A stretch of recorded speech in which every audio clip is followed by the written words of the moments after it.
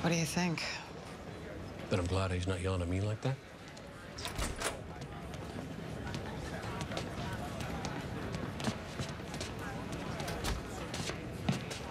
Say it.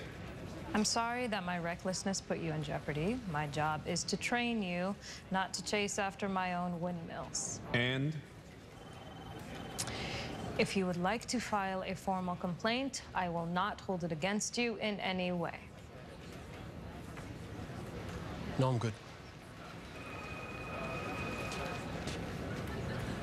But when you're ready, I'd like you to tell me why you're here. I wouldn't hold your breath. And for the record, technically 5% should be your nickname. Is that it? Yes. No.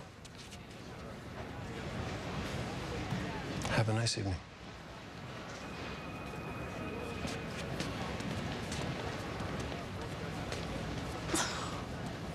You always have to push it.